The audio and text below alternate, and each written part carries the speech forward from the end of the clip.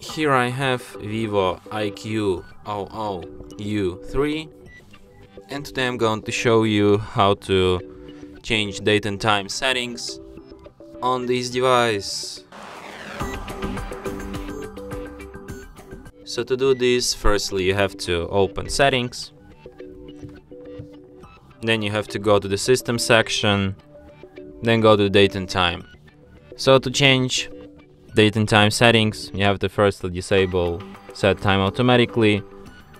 Here you can change your date. Here you can change your time. You can also change time zone if you disable automatic time zone. So here you can change it. You can also change time format from 24 hour to 12 hour. And that's it. Thanks for watching. If you find this tutorial useful, don't forget to hit that like button and subscribe to our channel.